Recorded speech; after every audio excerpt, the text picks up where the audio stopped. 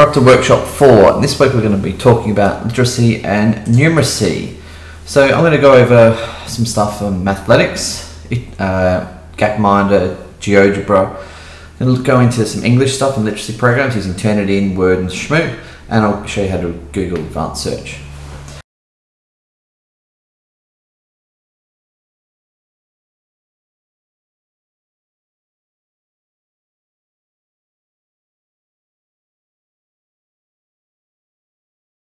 So start off with three R's. Now these have changed over time.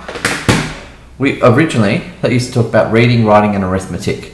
And one of the things I find amusing, by the way, is the fact that reading is the only one that starts with R. The thing that we're starting to look at though is that digital literacy seems to be a fourth R, as in students may be able to read, write, and, and do their maths, but if they do not know how to use a computer, they can actually have trouble in modern day society. So uh, one of the people that I've worked with before, who works for um, disability services, has said that if a student cannot understand technology, they're actually going to put them into as, in a special needs group, and we're going to be creating a whole new branch of special needs students. Another thing I'll point out as well is that all students are special needs. You know, some students need to be taught normally, if that makes sense. Some need uh, uh, suffer from dyslexia or Asperger's there's such a huge amount of different things that we have to worry about in classes today that it's almost weird to have a class of supposedly normal students. We talk about differentiation, which is where we're changing the, the delivery of the content, the content which, which we actually want to cover, the assessment as well for differentiation. Now, one of the things you can do is if you differentiate your class to the point that every student is differentiated for, so you're developing individual learning plans for each student, then you do actually remove the need, the special needs. If a student is suffering from dyslexia, and you make sure that when you're delivering content to that student, you've taken into account their needs and differentiated the curriculum, the content, and the learning for that student, they're no longer a special needs student. Right? There is no such thing as gifted and talented or special needs for a student when you're comparing it to themselves. A gifted student is only gifted when you compare them to someone else. So if you set up an individual learning plan for each student, then you're covering all your bases. Okay, so first thing we're going to cover is mathematics and numeracy. Now mathematics or mathletics, students learn they, progress from year level to year level and say they're learning algebra. Here's here's your first algebra question. The student can go and says to the student, "Do you want to do a tutorial on this?" And the student says, "No, I'm, I'm, I'm going to give it a go myself." The student then tries it. They make a mistake. The the technology says You've made a mistake. Would you like a hand? The student continues, no, no, no, I'm fine. If the student makes too many mistakes, the tutorial program kicks in and says, you're making a fundamental error. Let me explain how to do it. Right? So the program is in itself acting as an individual teacher. And the advantages of what the students are doing is just phenomenal. I've seen students who are struggling in year 10 to even do year 6 maths. You run them through uh, starting them at year 6, and they progress through all the training and learning and everything. And by the end of year 10, they are a poor year 10 student. Now, that's not saying they're an outstanding student, but they've covered five years of maths in a year. So that's amazing.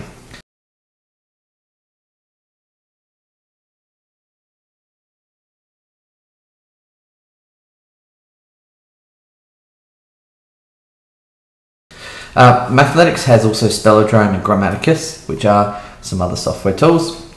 Um, and they are very good at teaching them spelling and grammar, although these are newer versions.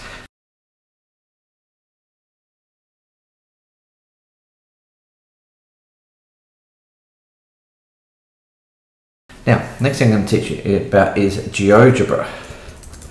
Now, GeoGebra is you can download to uh, any any computer, whether it's a Mac, PC, or whatever. And you can see here, it's a graphics computer. Now I can select any point here, and it tells me what these points are. Right. Equally, I can do a line. Right, and it gives me the formula for that line. Now, you can imagine doing this in the class up the front um, and explaining to the students uh, what's going on. Right, um, and and the students can then use this to, to try and calculate what's got um, the, the angles, points, um, pictorial, uh, whatever they need to do. You know, it's a great tool for teachers. have a play. If you're not a maths teacher, I feel free to move on. But if you're a maths teacher, download it, give it a go. You'll find it really useful. English. Now, can you please make sure you take this number down and this password? Turnitin is a hugely useful tool. You may be worried that students are plagiarizing material. Turnitin is a program that allows you to find out if that's true. So what we're going to do here is I've set up an account. So I'm going uh, to create an account. You can create an account as a teacher. Just put in email address and password and select that you're in, uh, a teaching assistant or instructor is more important. All right. However, I've already created an account, so I'm going to log in. And what I've done is I've set up a class, right, for student teachers. So if I click on this class, and I can add other classes, I've set up paper here. And if I go view,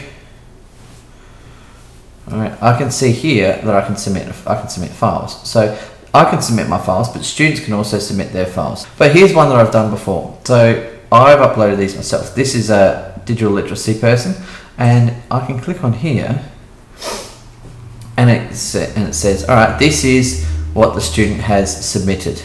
Now this has got a hundred percent match to Wikipedia because I went and got it straight from Wikipedia. So I, originally, I, um, initially I can find out if it's a match, right? If someone's been cheating. I can also grade mark this or peer mark this, right? Moving back. Here, I've got uh, another student, right? And I'm looking in here. Now the good thing about Turnitin is anyone that's uploaded a file, it goes into the database, right? So testing in the database, and I can see here now that this one here, this has, so number one is linked to a student who submitted in Bridgeport. So if I go here, it says, this is what the person in Bridgeport wrote. Oh, um, however, because it's uh, submitted to Bridgeport Education, which is a different school, it says you need to um, find, get permission to be able to see it. However, I can see that some other students written it. Does it look like it's their exact writing? No, not really, because it, it's kind of taken off. This is exactly the same sentence, but that's a fairly vague sentence. So maybe this person just happens to come up with the same sentence as the other one. This is one I just downloaded off the internet. I found I did word search and found acid rain. Acid rain is an is a essay that most people have to write when they're in year eleven biology. Or sorry, chemistry. And normally it's about 500 words. You can imagine that if every year a million students are writing an essay uh, about acid rain, there's actually going to be no possible way of writing an, uh, a non-plagiarized piece or, or your own unique piece of work. As they say about a thousand monkeys on a thousand typewriters, well, a million students on a million computers with the intelligence to actually write about one particular topic, you're going to get uh, some overlap. But here I can see that these are a 5%, so if I click on this, well, that's a quote, so fair enough. And it's from Discover Magazine, so that's giving me the exact quote. If I go to here, uh, well, it's a public resource. So this person, is the quotes are coming up. Um, someone's coming up with a paper, right, and it's just in references. You can select that the references are turned off, right. I would not be worried about these five percent uh, because they can just be a random selection of uh, material. Uh, back to student teachers is go add an assignment, and here I can make it a peer mark assignment. So then the students are marking each other's work. Great way of going through your marking. You're getting giving them each feedback. Alright. So here, I'm uh, you, if you click up here on student, and I go enroll in class, put in the student ID, uh, which is uh, 7880702, and enrollment password is just Adelaide, all lowercase. Alright, and that will get put you in my class, and then you can submit stuff and you can test it out. Otherwise, test it out for yourself. Alright, and that's in. Alright, next one I'm going to show you is Shmoop. So again, this is an English, an English one. Alright, now Shmoop is a great place to go for English teachers for um, textbooks, right? So books and stuff. If we go to uh, Shakespeare, for example, here are all the uh, different Shakespeare things, and I'm going to go to Romeo and Juliet simply because it's the one that everybody has to do in school. This is a nutshell. Uh, so it's actually asking questions about Romeo and Juliet. Not just telling you what goes on, but it's giving you information. So it's an introduction. And of course here I've got summaries, I've got what happens in the book. I've got I've got the themes, right? And so you can discuss all the different themes that happen, the characters, the quotes, the analysis, whatever. Uh, it's even got built-in quizzes.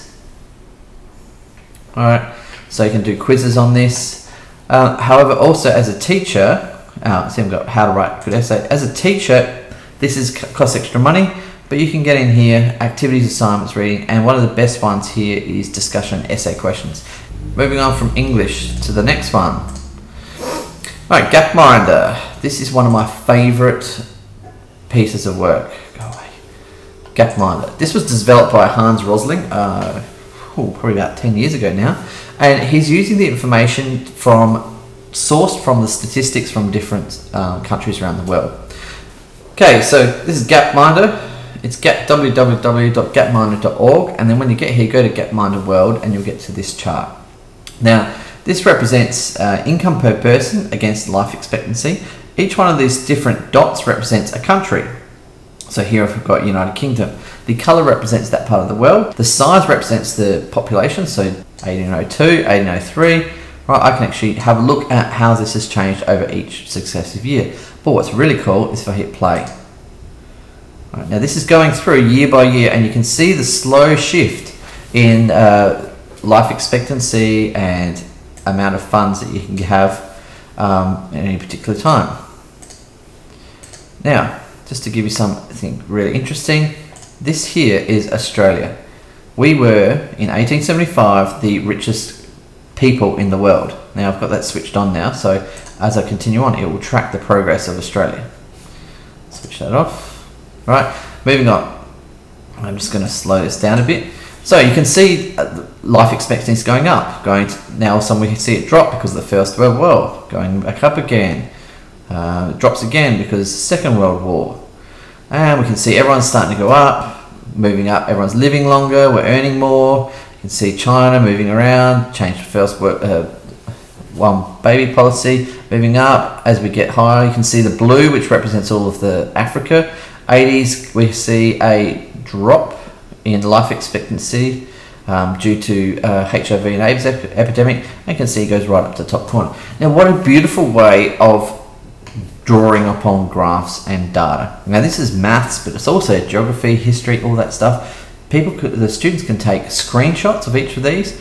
Uh, they can try and understand what's going on, and it gives them an understanding of what's going on in all parts of the world at once. I'm going to show you how to use Word. If you're using a Word program, first of all, you hold down Control and Command on a, on a Mac and scroll this wheel, you can see it makes it bigger and smaller. One of the things that you're going to have to be doing is making lots of worksheets probably. So I'm going to show you a little trick. Left tab, change this to right, and we put in a right tab here. Now, if I do underline, all right, let's control, hit tab, I can do lines. Okay, the other good thing is I can do uh, three marks. The other thing I'm going to show you on here, which is really important, is track changes. Okay, track changes will track changes while you're doing them. So here's a, let's assume this is a document that a student sent me and I go, well, no, it's not Romeo. This should have actually been Juliet. Now immediately it's come over here and it says you've made a change. All right. So uh, if I'm correcting any student's work or, or doing anything like that, then it can see the student can then say, oh, no changes to this. You can also then add in comments. So if I go to review, I go new comment. I'm going to say in here, uh, make sure you check. Now, up here under the review, I can change this final showing markup. So I can change it to the original. So it goes back to the stuff that they showed me originally or I can go to the final. This is what I've changed it to, right? Or I can show, include the markup. So if you're drafting Year 12 work or Year 11 work as part of SACE, you may wish to send, get them to send you a, a file that you can then check and edit. And it will track the changes as you go along. It's a really useful tool. Uh, and it means that you can see what you've, what changes you've made and what changes they've made as well. Discussion board questions this week. Should ICT be considered as important as the three R's? I want you to choose one of the programs that I've used and comment on whether or not you think it's useful or not. It's just the idea that you're actually researching the tools as we're going along. And then lastly, do you think the role of the teacher has changed and moves as we move um, from industrial to the information age? In other words, is the teacher still the deliverer of content or has that changed? The national professional standards that we've covered here is um, standard 1, 2 and 5. So know the students, know the content and think about assessment and feedback. But this week we're going to be working on standard one.